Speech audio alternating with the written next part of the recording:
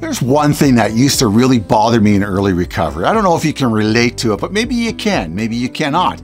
And what it is is that when I came into recovery, I had a lot of issues. I had a truckload of problems. I really did. Emotional, mental, physical, spiritual, financial, court problems, you know, marital problems, child support problems, you name it. The problems are stacked up, you know, 100 feet tall, the issues I had when it came to early recovery. And I'd be sitting there just struggling to hold some sort of mediocre job that would pay me, you know, minimum wage at that time. I think it was like five, six twenty-five, you know, just minimum wage jobs. And I'd be, you know, struggling to get up in the morning, you know, keep my mouth shut at these jobs and, you know, get paid at the end of the week and, you know, all those sort of things that regular people do with ease. It was a lot of effort for me. It was a lot of effort for me. It really was. I tell you, living without the alcohol was like putting me outside nude in the middle of New York's town, uh, New York Square there. You know, it, it was like that. I just felt like a fish out of water. And I had to like relearn everything. But what really used to get me a lot in programs when I went to these 12 step programs are these people used to walk in, like, here's me, like, a year and a half sobriety. I think I'm doing okay. You know, I'm trying to like I have a I have a room at the Y. You know, I'm not going to the food bank. I'm supplying my own food. I'm looking after myself basically. And you get these people walk in and they got like six months sobriety and they got the hot chick under their arms. They got the nice car. They're good looking guys. They're well dressed. They got it all going for them. And I used to say to myself, what the hell am I doing wrong here? When is it my turn to have the girlfriend?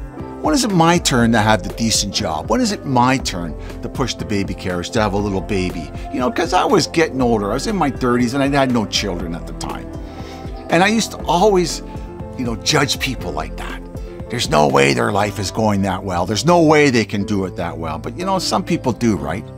Some people do get it faster than others. They really do. And to this day, I see people like that handling things. You know, I used to get jealous at people when they made a decision and they stuck to the decision. I used to get jealous of that. I used to get jealous at people if they had a house and I didn't have a house. You know, all my money for the down payment of the house was sitting in the bars. That's where it was. That's where it was. It was all in the bars, all that, all that money. But I used to get jealous of people. I used to get jealous of people all the time for the simplest things. But for myself, I had to stop that. I had to stop being jealous of people. Stop it. Because it wasn't doing me any good. I was comparing myself to other people. My issues are different than their issues. My problems are a lot different than their problems.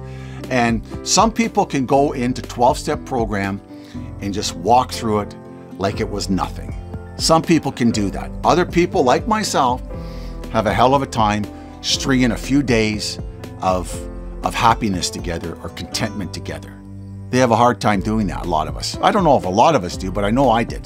The road to recovery is does not have an ending. It's a journey of many steps. It's a journey of many days of self-improvement. And I forgot that, and I had a sponsor explain it to me. They may be here, and you may want to be where they are, but your time will come. Just work on yourself and your life will get together. It'll come together for you. And I learned that over in sobriety. When you're beaten down as much as I was, you know, a guy had a 10 speed, he was one up in me. He really was. He was one up in me easily. You know, I was living at the YMCA just one inch from going to the food bank all the time. And I had these little jobs. It was awful, awful time. But comparing yourself to other people in recovery is not fair to you or to them. But mainly, it's mainly a head game that I did on myself. It really, really is. So if you're doing that and you're thinking that sobriety is a, a race or you should be somewhere else in your sobriety, get that out of there. Get that out of your, head. Just remember that it's your life, it's your recovery. Sometimes we take one step forward three steps back. Sometimes we go 10 feet forward and maybe one step back. Your turn will come, definitely. Stick to the journey. Trust the journey. Trust the process of recovery. Take all the help you can get from outside people, 12 step program, sponsors, sponsees, whatever it takes for you to feel better about yourself. Continue to do that. And all this stuff that's going on inside of you will slowly evaporate and you will become the person that you were meant to be. And let me tell you something half the stuff that I thought was important to me in early recovery was not the truth. It wasn't the truth, what I really needed and what I really wanted. Over time, my priorities changed, my needs and my wants changed, and my expectations of myself changed dramatically over time. But it takes time, okay? It really, really does. Sobriety is a great life.